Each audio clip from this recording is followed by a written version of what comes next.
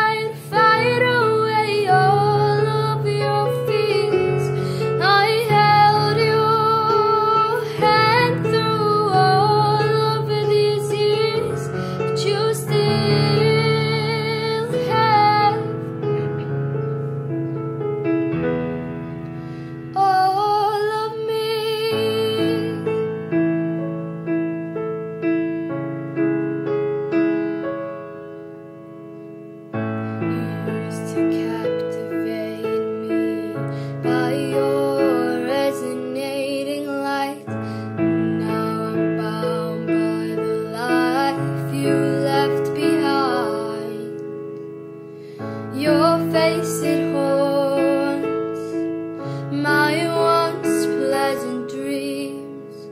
Your voice it chased away.